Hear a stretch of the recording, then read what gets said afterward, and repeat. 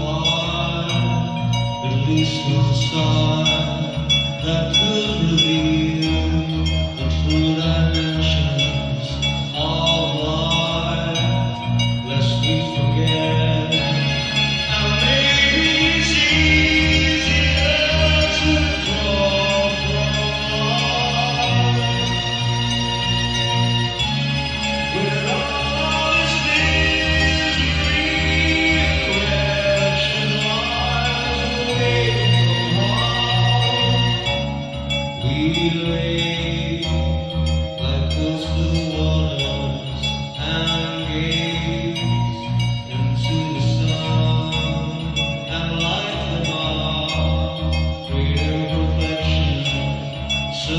come to her fatal shot.